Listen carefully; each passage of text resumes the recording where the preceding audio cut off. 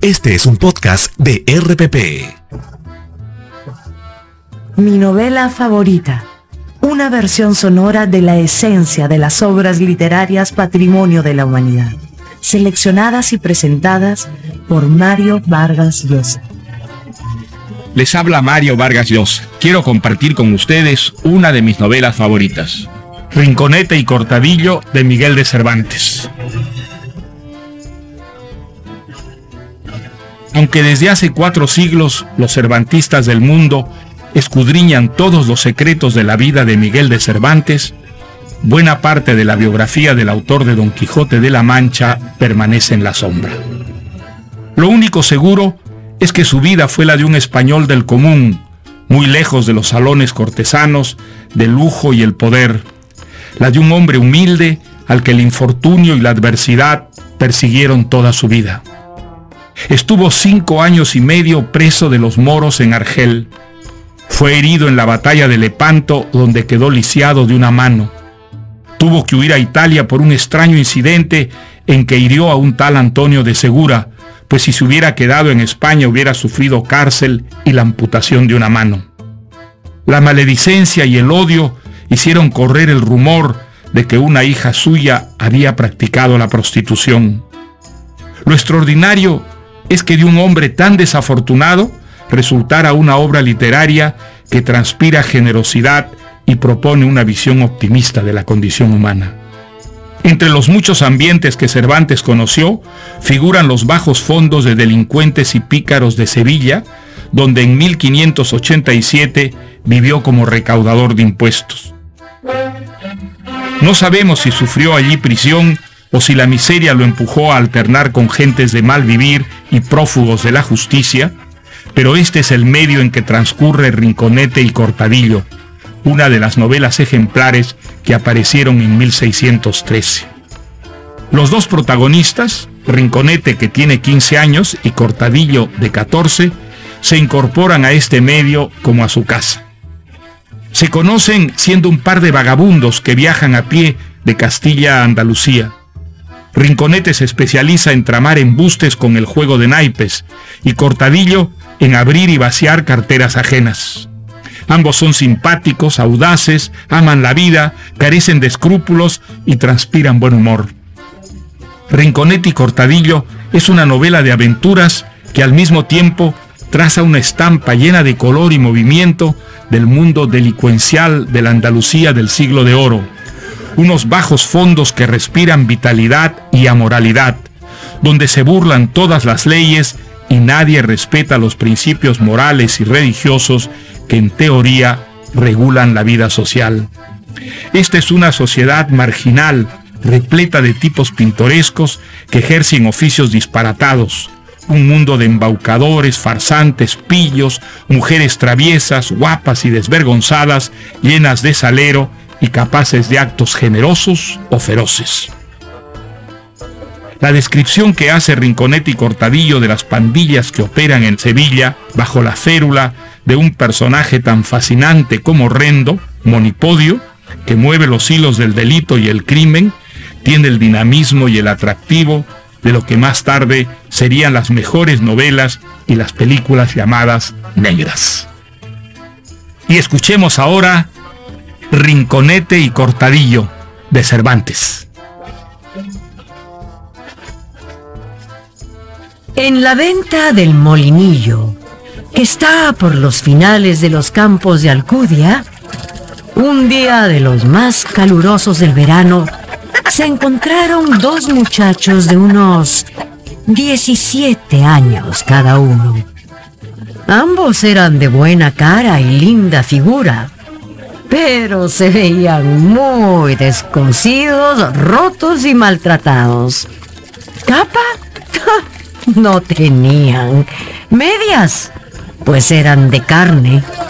Uno llevaba alpargatas y el otro unos zapatones sin suelas. Uno traía en un bolsillo unos naipes a los que se les habían redondeado las puntas de tanto usarlos. Uno llevaba una media espada y el otro un cuchillo de cachas amarillas que los suelen llamar vaqueros. Habían salido los dos a hacer siesta en un cobertizo que hay delante de la venta y, sentándose frente a frente, el que parecía de más edad le dijo al más pequeño. ¿De qué tierra es su merced, señor? ¿Y para dónde camina? Mi tierra, señor caballero, no la sé, ni para dónde camino tampoco. Pues en verdad que no parece su merced del cielo, y que esta posada no es lugar para quedarse. Así es, pero yo he dicho la verdad. No tengo en mi tierra más que un padre que no me tiene por hijo y una madrastra que me trata como hijastro. ¿Y qué camino lleva su merced? Pues el camino de mi poca aventura. Y a mi camino yo le daría fin si encontrara quien me diese lo necesario para pasar esta miserable vida. ¿Y sabe su merced algún oficio? Pues corro como una gacela y salto como una liebre y corto con tijera muy delicadamente. Eso último es muy bueno, útil y provechoso, porque seguramente habrá sacristán que le dé a su merced el encargo de cortar flores de papel para el jueves santo. No, sino que mi padre es sastre y me enseñó a cortar polainas y las corto tan bien que podría decirse que soy casi maestro en ese oficio. Todo eso y más les pasa a los que son buenos. Pero si no me engaño y el ojo no me miente, otras gracias secretas tiene su merced que no las quiere contar. Sí, tengo. Pero no son para contarlas como su merced ha dicho muy bien. Pues yo le puedo decir que sé guardar secretos mejor que nadie. Y para obligar a su merced que descubra su pecho, quiero descubrirle primero el mío. ¿Por qué haría eso su merced? Es que imagino que si nos ha juntado aquí la suerte, ha sido por algo. Y pienso que habremos de ser, desde este hasta el último día de nuestra vida, verdaderos y muy grandes amigos.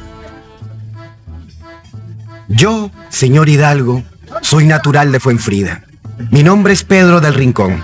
Mi padre es bulero, vale decir que vende copias de las bulas papales, y eso hice yo por un buen tiempo. Pero, habiéndome un día aficionado más al dinero de las bulas que a las bulas mismas, me abracé con una bolsita de dinero y di conmigo y con la bolsa en Madrid, donde en pocos días le saqué las entrañas al dichoso saco. Me dicen que eso no es difícil en Madrid. Pues vino el que tenía a cargo el dinero tras mis pasos. Me prendieron. No tuve quien me quitara la culpa, pero viendo aquellos jueces mi poquedad, me condenaron a unos azotes y fui desterrado de Madrid por unos años. ¿Le dolió mucho aquello, su merced? Tuve paciencia. Encogí los hombros, sufrí la tunda y salí a cumplir mi destierro con tanta prisa que, de todas mis alhajas, no tuve tiempo más que para traerme estos naipes, con los cuales me he ganado la vida por los mesones y ventas que hay desde Madrid hasta aquí, jugando a la 21. ¿Esos naipes mismos? Sí, y aunque su merced los vea maltratados, tienen una maravillosa virtud con quien los entiende. Ah, ya veo. Si su merced entiende de este juego, verá cuánta ventaja tiene jugar con estos naipes, si es que uno los entiende, claro está. Ya veo. También aprendí de un cocinero de un cierto embajador ciertas formas de apostar. Y así como su merced conoce tantísimo del corte de sus polainas, yo podría ser maestro en la ciencia de los naipes. ¿Pero con eso tiene su merced suficiente? Con esto voy seguro de no morir de hambre, porque siempre hay quien quiera pasar el tiempo jugando un rato. Y esto me da una idea. ¿Cuál es, señor? Armemos la red y veamos si cae algún pájaro de estos arrieros que hay aquí.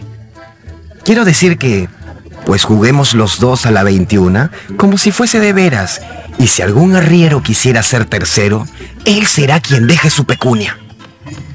Sea en buena hora, y me alegra que su merced me haya contado su vida, con que me ha obligado a que yo no le encubra la mía, que es esta.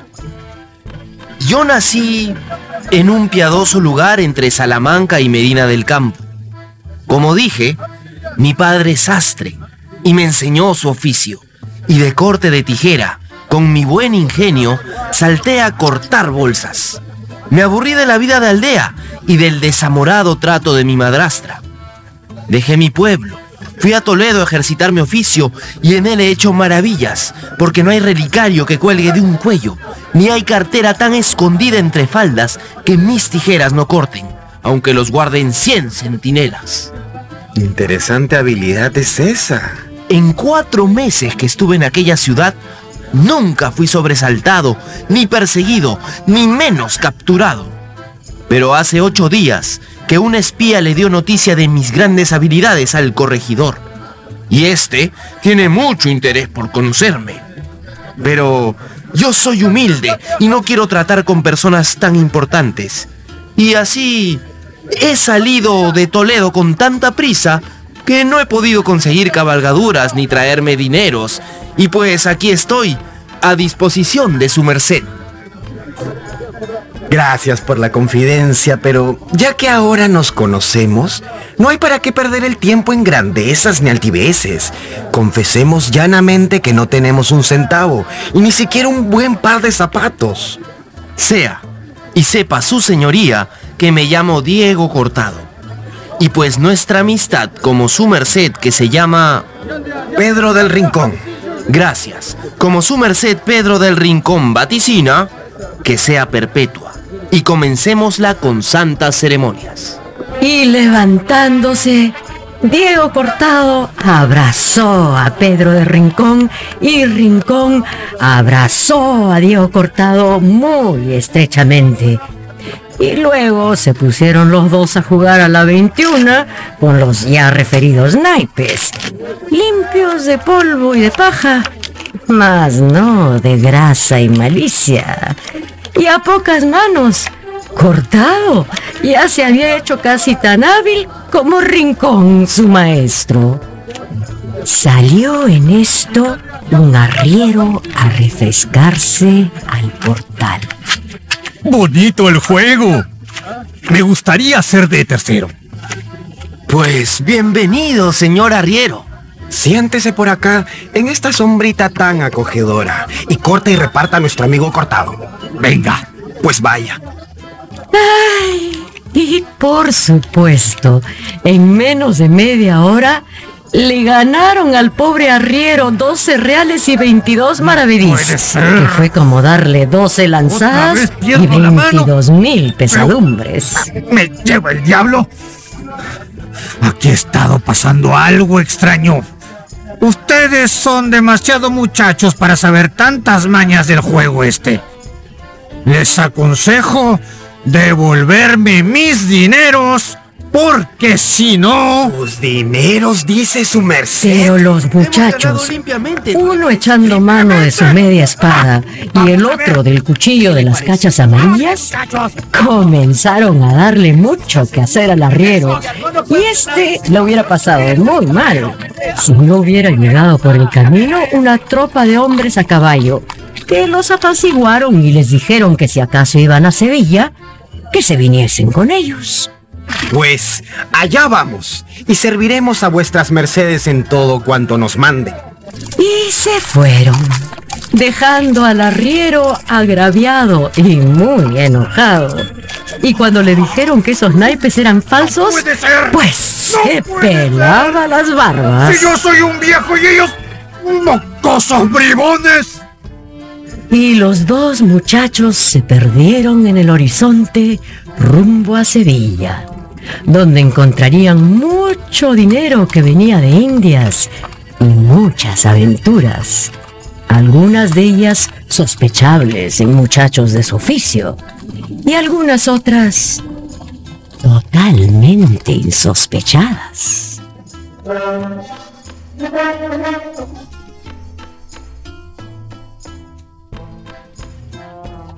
A Don Cortado y Don Rincón se les ofrecieron algunas ocasiones de mirar qué había en las valijas de sus señores, pero no lo hicieron para no poner en riesgo ocasión tan buena de llegar a Sevilla, donde había más dinero que en cualquier otro lugar de España.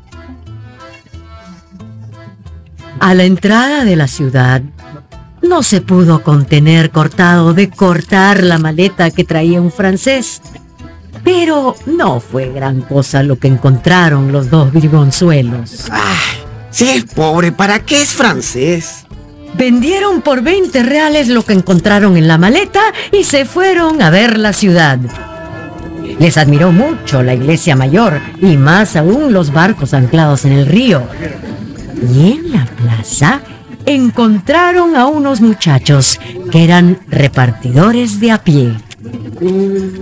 ¿De qué se trata este trabajo? Se trata de llevar recados al lugar donde te mandan. ¿Y es mucho el trabajo? Más bien descansado. Y no se paga al cabal. Y al día más o menos se sacará A veces unos 5 o 6 reales. Y con eso como y bebo a cuerpo de rey. ¿Y tu amo es...? No lo tengo. Busco el que más me conviene. O más bien, a mí me busca quien aquí viene. Tienes ingenio.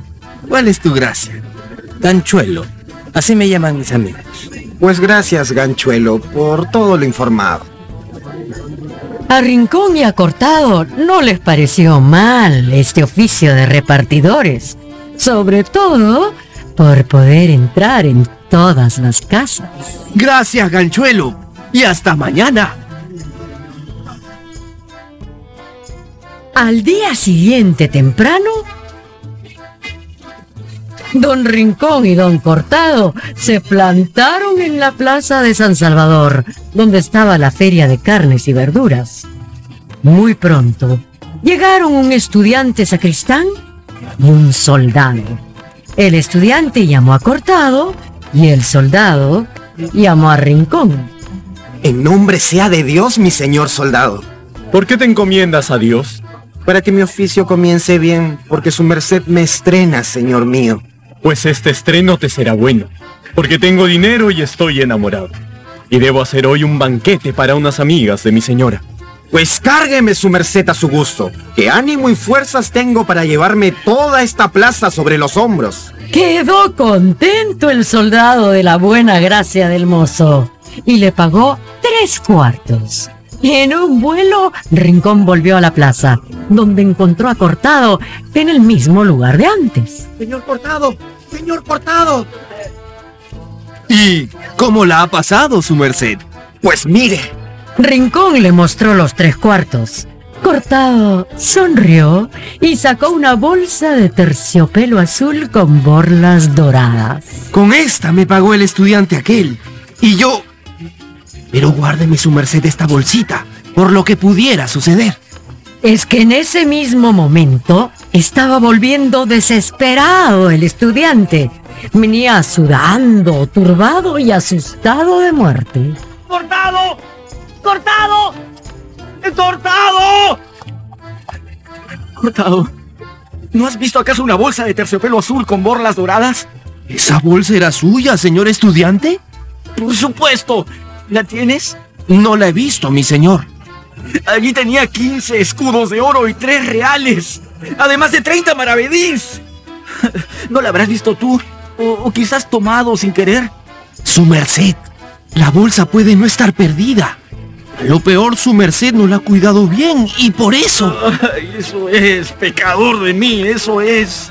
Que no la he cuidado bien y me la han hurtado. ¡Me la han hurtado! Pero no se ponga así, que para todo hay remedio. Y el remedio es tener paciencia, porque de mucho menos nos hizo Dios, y donde las dan las toman, y podría ser que el que se llevó la bolsa se arrepienta y se la devuelva a su merced sahumada. Ay, válgame el cielo, que eso del saumerio yo se lo perdonaría. Y hay orden de excomunión para quienes cometen grandes crímenes contra los religiosos, padrecito.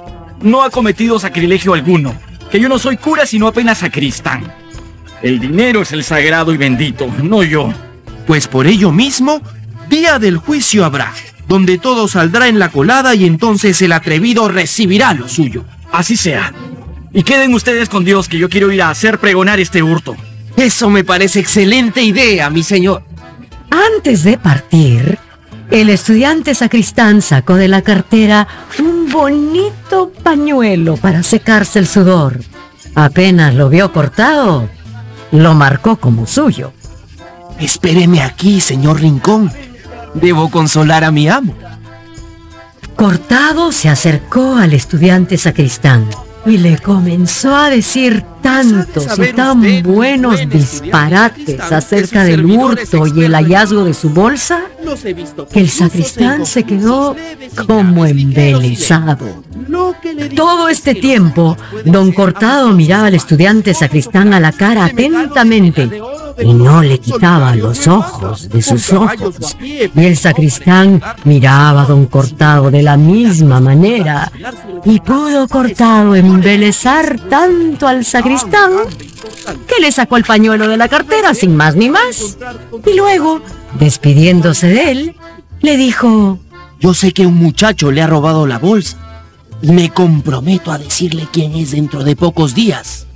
No deje de volver a buscarme. Ah, por Dios, una esperanza por fin. Gracias, muchas gracias, galán bueno. Hasta pronto. Y con esto se despidieron. Y Cortado regresó donde Rincón, que todo lo había visto y casi escuchado. Buena lengua y buen lenguaje tiene su merced. Y buenos resultados que me da tenerlo, señor Rincón. Y mientras Cortado le daba el pañuelo a Rincón, uno que había estado allí desde temprano, ese que se llamaba Ganchuelo, se les acercó. Díganme, señores galanes, ¿sus mercedes son de mala entrada o no? No entendemos qué será esa mala entrada, señor Galán. ¿No me entendéis? Pregunto si serán ladrones. Pero como ya sé que lo son, pregunto entonces, ¿por qué no han acudido a la aduana del señor Monipodio? ¿Pagan en esta tierra impuestos los ladrones? No. Pero el ladrón bien nacido se registra ante el señor Monipodio, que es el padre, el maestro y el amparo del buen ladrón de Sevilla. Vengan conmigo a darle sus obediencias a don Monipodio. ¿Y si no vamos a ello? Pues no se atrevan a hurtar aquí en Sevilla, porque les costaría muy caro. Yo pensé que el robo era oficio libre en todas partes. Pues aquí hace falta la buena pro de don Monipodio. A cada tierra su hábito, y guíenos su merced donde ese caballero. Hacen bien, porque en los cuatro años que viene siendo nuestro padre y mayor, no han padecido sino cuatro en el finibusterre, y obra de 30 en Besados y de 62 en Gurapas. Vamos entonces.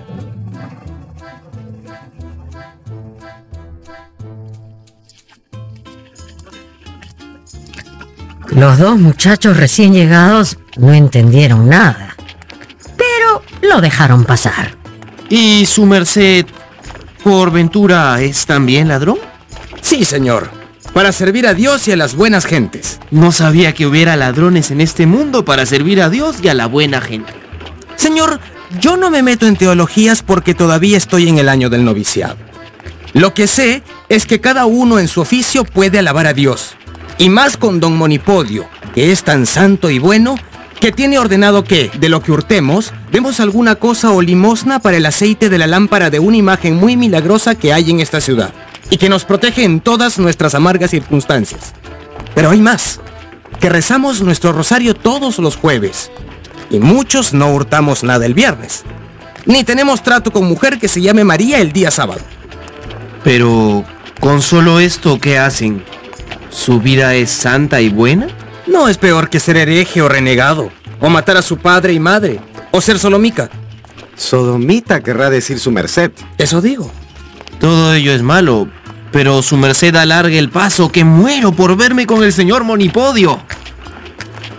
Aquí está su casa.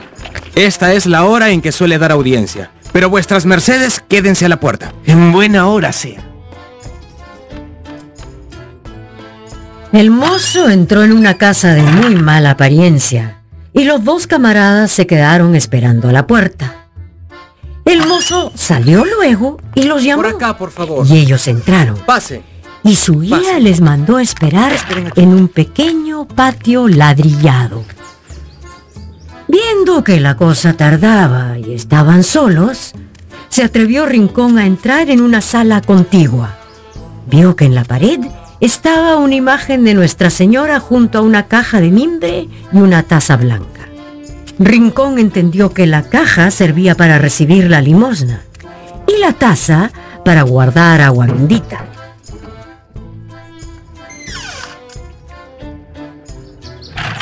Entraron en la casa dos mozos de unos 20 años vestidos de estudiantes. Y luego dos hombres que llevaban abanicos. Y luego un ciego. Y sin hablar ni media palabra, se pusieron a caminar por el parque.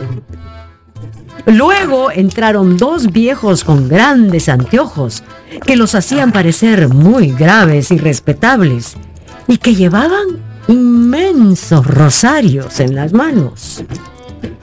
Tras ellos entró una vieja de grandes faldas y sin decir nada se fue a la sala. Bebió agua bendita. Se puso de rodillas ante la imagen, besó tres veces el suelo, levantó los brazos y los ojos al cielo y al cabo se levantó, echó su limosna en la cajita y se fue al patio. En poco tiempo, había en ese patio unas 14 personas de diferentes trajes y oficios. Llegaron al final dos extraños mozos de bigotes largos y pistoletes en vez de dagas. Luego de un largo momento de casi total silencio, de pronto apareció don Monipodio en lo alto de la escalera que daba al patio. Este señor extendió los brazos al cielo y dijo, con la solemnidad de un arzobispo, Benditos sean todos los amigos y hermanos de esta cofradía. Benditos y bienvenidos sean todos ustedes, hijos y ahijados míos.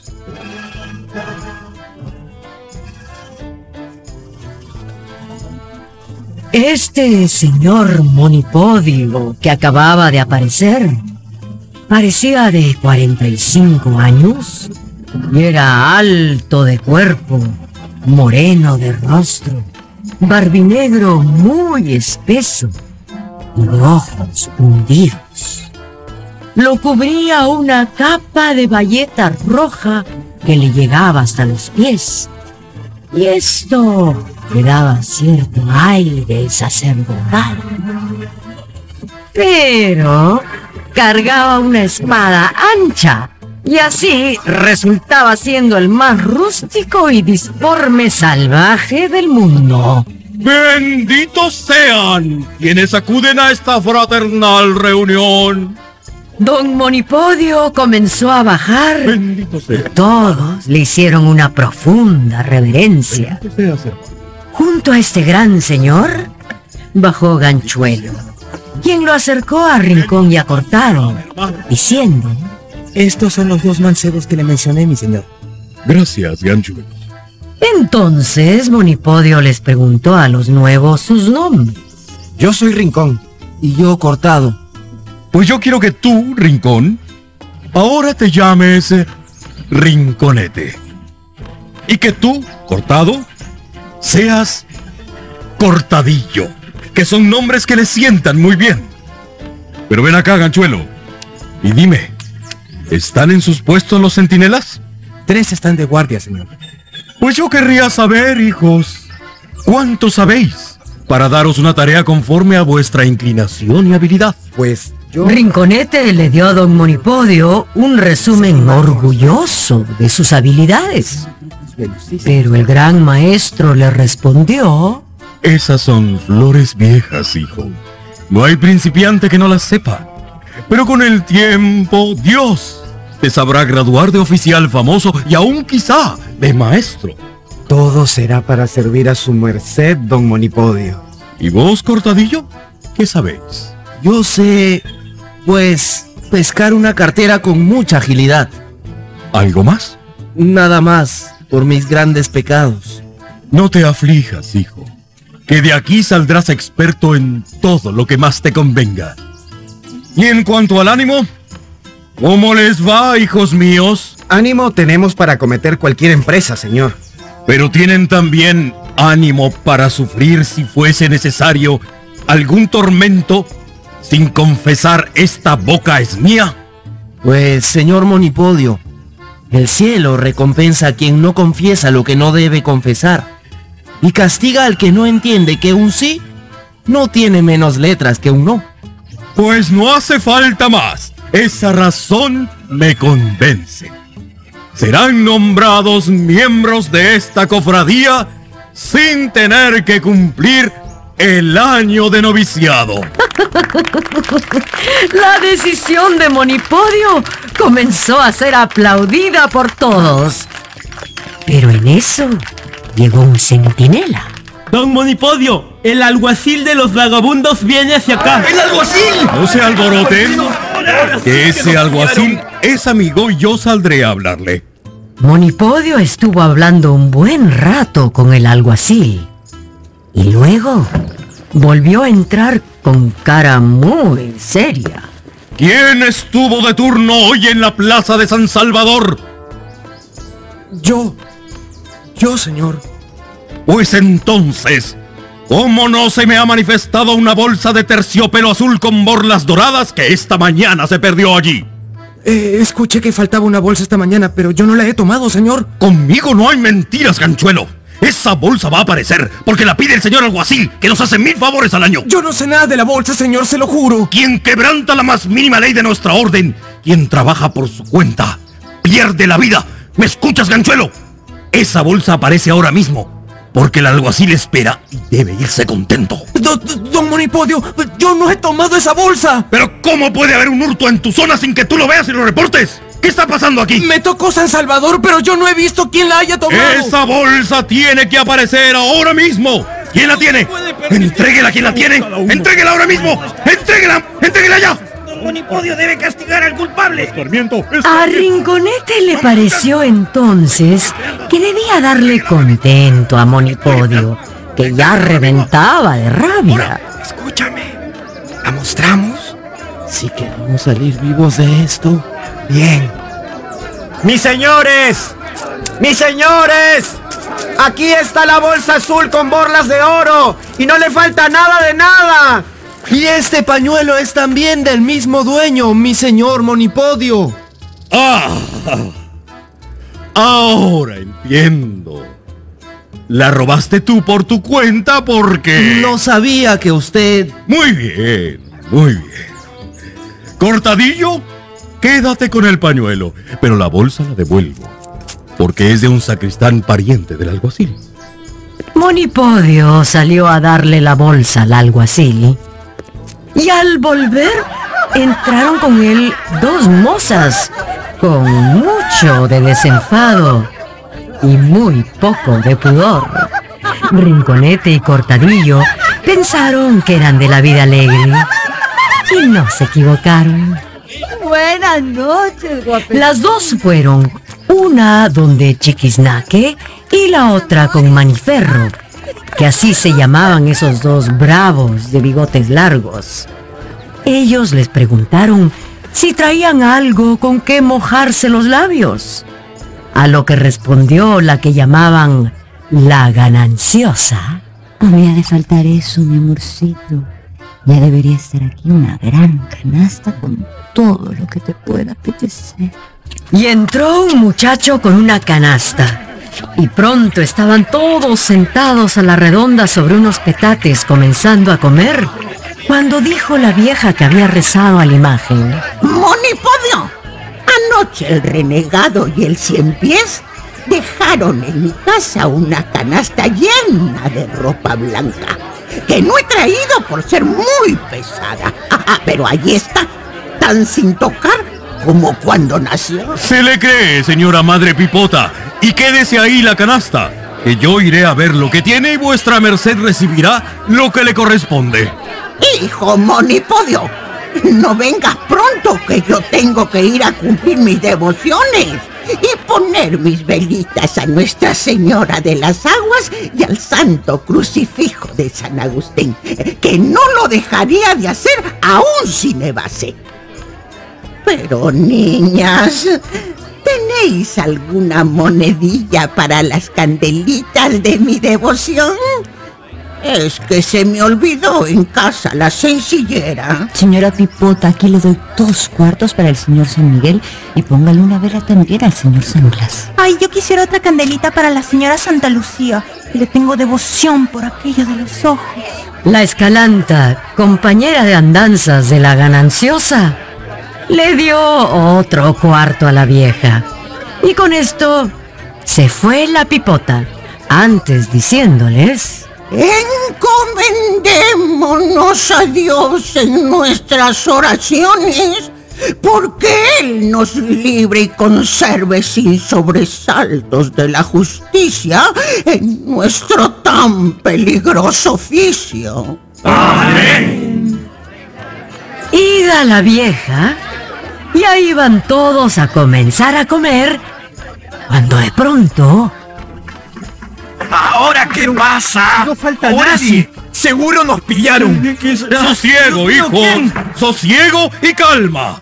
Monipodio tomó un pequeño escudo, puso la mano a la espada, fue a la puerta y con voz hueca y espantosa preguntó... ¿Quién llama? ¡Justicia! ¡Justicia, señor Monipodio! ¡Vengo por justicia! Monipodio abrió y entró la cariarta, que así se llamaba una del mismo oficio que las otras. Tenía la cara llena de moretones. La justicia de Dios y del rey caiga sobre ese repulido, ese ladrón de caras, ese cobarde, ese pícaro a quien yo he salvado de la horca más veces que él tiene pelos en las barbas. Desdichada de mí. Mirad por quién he gastado mi mocedad, por un bellaco desalmado como él. Sosiégate, Cariarta, que aquí te haremos justicia, pero cuéntanos tu agravio. Pues aquí veréis. Alzándose las faldas hasta las rodillas y hasta un poco más, mostró sus piernas llenas de magulladuras. Así me ha hecho repulido. ¿Le di yo ocasión para ello? Él me mandó pedir 30 reales y yo le mandé 24 porque no tenía más. Pero él creyó que yo le escatimaba su dinero y me sacó al campo y me desnudó. Y con su cinturón me dio tantos azotes que me dejó como muerta. Pero miren vuestras mercedes que estos moretones son mis testigos. Ese hombre me odia y me quiere matar. Tranquila, hermana Cariarta, que solo cuando se quiere bien se castiga. Y estos hombres bellacos nos azotan porque nos adoran. Pero dime, después de que Repulido te hubo castigado, ¿no te hizo alguna caricia? Cien mil me hizo. Y hasta me parece que se le saltaron lágrimas de los ojos. Pues verás, hermana, que Repulido viene a pedirte perdón, mansito como un cordero. Pues no ha de entrar por estas puertas ese cobarde, si primero no hace una manifiesta penitencia. Ay, no hable tan mal su merced, señor Monipodio, de aquel maldito, que en el corazón ahora quiero ir a buscarlo. No lo hagas. Déjalo llegar arrepentido. Fue en ese momento que los dos viejos pidieron licencia para irse. Se la dio Monipodio. Y cuando se hubieron ido, Rinconete, era curioso, le preguntó a Monipodio de qué servían en la cofradía dos personajes tan canosos, tan graves y tan lentos. Ellos son nuestros avispones. Andan por toda la ciudad avispando en qué casa se puede entrar de noche. También siguen a los que sacan dinero de la casa de la contratación o de la moneda, ven a dónde lo llevan y dónde lo guardan y hasta inventan cómo facilitarnos la entrada. Esos ancianos son, hijo, la gente de más provecho que tenemos. Hombres muy honrados y de muy buena vida y fama. Temerosos de Dios y de sus conciencias que cada día escuchan misa con gran devoción. Todo eso me parece de perlas, don Monipodio. Pero quisiera... ¿Quién es? ¡O yo! ¡El repulido, don Monipodio! No le abra, no le abra por el amor de Dios. Pero don Monipodio mandó abrir. La cariarta se levantó corriendo y entró en la sala de la Virgencita, cerrando tras sí la puerta. ¡Ahuyenten ese verdugo! ¡A ese asesino de pichones que si entra me ha de matar! No es así, enojada mía, que quiero verte casada. ¿Casada contigo, maligno? Pero miren qué tecla que toca. Antes me caso yo con un maricón que contigo, malvado infame. ¡Vamos, boba, vamos! ¡Que se me sube la cólera al campanario y la recaída será peor que la caída! En mi presencia no ha de haber demasías. La cariarta saldrá por cariño a mí. ¡Ah, cariarta mía! Sal acá, que yo haré que el repulido te pida perdón de rodillas. Si la cariarta gusta de ello, no solo me encaré de rodillas, sino que me encaré la frente con un clavo. Pues hazlo. ¡Pues sal! ¿No sales? Pues me voy. Y que Dios se apiade de ti. Y Repulido se iba a ir por la puerta de calle cuando la cariarta apareció diciendo... ¡Que no se vaya, que hará de las suyas! ¡Vuelve acá, valentón del mundo y de mis ojos! ¡Vuelve acá! Entonces el Repulido volteó hacia la cariarta, la miró y comenzó a caminar lentamente hacia ella.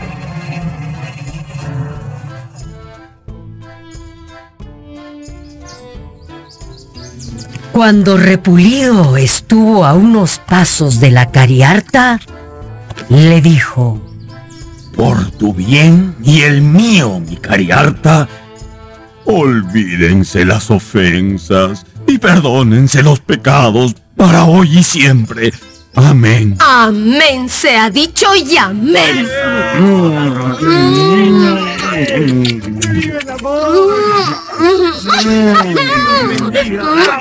Pero en eso llamaron a la puerta muy aprisa. Monipodio salió a ver qué pasaba y el centinela le dijo... Al final de la calle ha asomado el alcalde de la justicia, pero delante de él vienen el tordillo y el cernícalo. Cuando adentro oyeron esto, todos se alarmaron muchísimo y hasta la cariarta se prendió de repulido y todos desaparecieron, subiéndose a las azoteas y tejados para huir. Es que nunca un trueno repentino espantó tanto a una banda de palomas que cuando estas palomitas supieron que venía la justicia.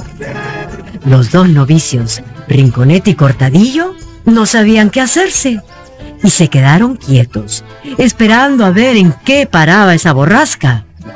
Pero la borrasca resultó inútil, porque el centinela dijo... El alcalde se ha pasado de largo con toda su comitiva.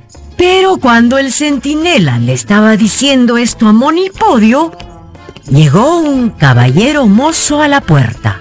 Eh, pase adelante, por favor, pase adelante. Que vengan Chiquisnaque, Manifero y Repulido. Y que de los demás no baje ninguno. Como se habían quedado en el patio, Rinconete y Cortadillo pudieron oír toda la conversación entre Monipodio y el caballero recién venido. Señor Monipodio, vengo a decirle que aquella tarea que yo le encargué, pues ha sido muy mal hecha. No sé qué es lo que se ha hecho o no, pero allí está quien dará muy buena cuenta de esto. Dinos, querido Chiquisnaque, ¿has cumplido con la obra que se te encomendó? ¿Esa de la cuchillada de 14 puntos? ¿Cuál? ¿La de aquel mercader de la encrucijada? Esa es, esa. Pues lo que pasa es que lo esperaba anoche a la puerta de su casa y él vino antes de la oración. Me acerqué, le miré el rostro y vi que lo tenía tan pequeño que resultaba imposible de toda imposibilidad que cupiera en esa cara una cuchillada de 14 puntos. Entonces, al no poder cumplir lo prometido en mi destrucción... Instrucción querrá decir, que no destrucción. Eso dije. Y porque no fuese mi viaje en balde, le di la cuchillada a un sirviente de aquel señor. Más quisiera que se le hubiera dado una de siete al amo que una de 14 al criado. Conmigo no se ha cumplido, señores. Pero no me importan los 30 ducados que dejé a cuenta. Beso a vuestras mercedes las manos y adiós. Y el caballero volvió las espaldas para irse, pero Monipodio lo tomó de la capa diciéndole... Deténgase y cumpla su palabra, señor. Pues nosotros hemos cumplido la nuestra. Veinte ducados faltan y su merced no ha de salir de aquí sin darlos. Pues a esto llama su merced cumplir. Darle la cuchillada al sirviente, debiendo dársela al amo. Tome mi consejo y pague lo trabajado. Y si quisiera otra cuchillada para el amo del número de puntos que pueda llevar su rostro, pues con tal que la pague, haga su merced cuenta que ya se la están curando. Como eso sea, de muy buena voluntad y gana, pagaré la una y la otra por entero. Muy correcto es su merced. Y Chiquisnaque se la dará al amo tan pintiparada que parecerá una marca de nacimiento. Pues reciba esta cadena en prenda de los 20 ducados atrasados y de 40 que ofrezco por la nueva cuchillada. Pues con mucho gusto la recibo. Y Chiquisnaque quedará a cargo de la cuchillada, que se dará esta misma noche. Muchas gracias les haga Dios por estos favores. Y adiós. Adiós. Monipodio entonces llamó a todos los ausentes temerosos que bajaron desde los techos y las ventanas. Y el señor de los ladrones se puso en medio de ellos, sacó de su bolsillo un libro y se lo dio a Rinconete para que leyese, porque él no sabía leer. Lo abrió Rinconete y en la primera hoja leyó que decía... Memoria de las cuchilladas que se han de dar esta semana. La primera, al mercader de la encrucijada vale 50 escudos. Están recibidos 30 a buena cuenta. Ejecutor, Chiquisnaque.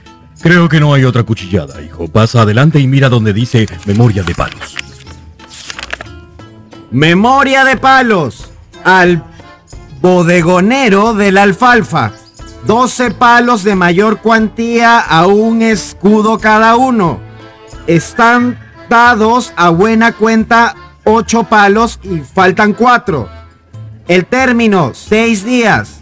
Ejecutor. Maniferro. Bien podía borrarse esa partida, porque esta noche estará cumplida. ¿Hay más, hijo? Si hay otra que dice así. Al sastre co- Corcovado, que por mal nombre se llama el Silguero. Seis palos de mayor cuantía a pedido de la dama que dejó la gargantilla. Ejecutor, el desmochado. Me asombra cómo todavía ese encargo no está cumplido. Ya son dos días de atraso con esa obra. Me encontré ayer al desmochado y me dijo que por haber estado enfermo no había cumplido. Eso lo creo, porque es buen oficial el desmochado. ¿Hay más, mocito? No, señor. Entonces dame el libro, mancebo, que yo sé que no hay más. Y sé también que anda muy flaco el oficio. Porque quien quiere vengar una afrenta no quiere sino que otro lo haga por él. Pero luego no quiere pagar la obra que él se podría hacer con sus propias manos. No es correcto. No es correcto. Pero diga su merced, señor Monipodio, lo que ahora nos ordena y manda, que se va haciendo tarde. Pues que todos se vayan a sus puestos. Y que nadie se mueva hasta el domingo, que nos juntaremos en este mismo lugar y se repartirá todo lo que hubiese caído sin agraviar a nadie. A Rinconete y Cortadillo se les da por distrito hasta el domingo, desde la Torre del Oro hasta el Postigo del Alcázar, donde se puede trabajar a placer porque hay flores. Ese distrito se los enseñará Ganchuelo. Y no se extiendan hasta San Sebastián y San Telmo, porque no es justicia que nadie se meta en el territorio de nadie. Pues le besamos las manos, don Monipodio, por la merced que se nos hace. Haremos nuestro oficio muy bien, muy fielmente, con toda diligencia y recato. Y en esto, Monipodio sacó un papel doblado donde estaba la lista de los miembros de esta cofradía. Y le dijo a Rinconete que pusiese allí su nombre y el de Cortadillo. Mas, porque no había tintero, le dio el papel para que lo llevase y en el primer boticario los escribiese, poniendo Rinconete y Cortadillo. Cofrades. Estando en esto, entró uno de los viejos avispones y dijo, Pues le informo, don Monipodio, que dos peruleros viven en una misma casa y sería bueno hacer juego con ellos dos, porque mucho dinero traen de América, según se dice. Esos peruleros llegan con más oro que el que pueden llevarse al partir. ¿Hay más de nuevo? No, a lo menos que yo sepa, señor. Pues sea en buena hora. Ustedes tomen esta miseria y el domingo que no falte nadie, que no faltará nada de lo acostumbrado. Y don Monipodio repartió entre todos unos 40 reales. Y todos le dieron las gracias. Tornáronse a abrazar Repulido y la Cariarta. La Escalanta con Maniferro. Y la Gananciosa con Chiquiznaque. Y don Monipodio abrazó a Rinconete y a Cortadillo. Benditos sean en sus trabajos y en sus obras, hijos. Pero no tengan nunca posada perpetua ni hogar conocido, porque así conviene a la salud de todos. Y que Ganchuelo los lleve para mostrarles sus lugares de trabajo. Los acompañó Ganchuelo hasta enseñarles sus puestos, recordándoles que no faltasen el domingo, porque Monipodio daría una lección acerca de cosas concernientes a su arte. Y con esto se fue, dejando a los dos compañeros admirados de lo que habían visto y escuchado. Mira, Cortadillo, creo que no debemos durar mucho en esta vida tan perdida y tan mala, tan inquieta y tan libre y disoluta. ¿Por qué no? Pues porque... Porque si seguimos en ello jamás llegaremos al cielo. Pues, como dice don Juan en la obra aquella, si tan largo me lo fiáis... Don Juan acaba en el infierno, ¿recuerdas? Pero con todo esto, llevados de sus pocos años y de su poca experiencia, pasaron en esa vida algunos meses, en los cuales le sucedieron cosas que piden más largo contar. Y por eso dejamos para otra ocasión contar la demás vida y los otros milagros de Rinconete y Cortadillo, con los de su maestro Monipodio y otros sucesos de aquellos que acudían a esa infame academia. Que todos estos hechos podrán servir de ejemplo y aviso a los que las escuchen con atención. Y con esto, con perdón, pues adiós.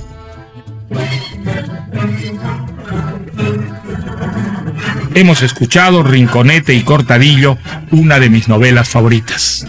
Estuvo con ustedes Mario Vargas Llosa.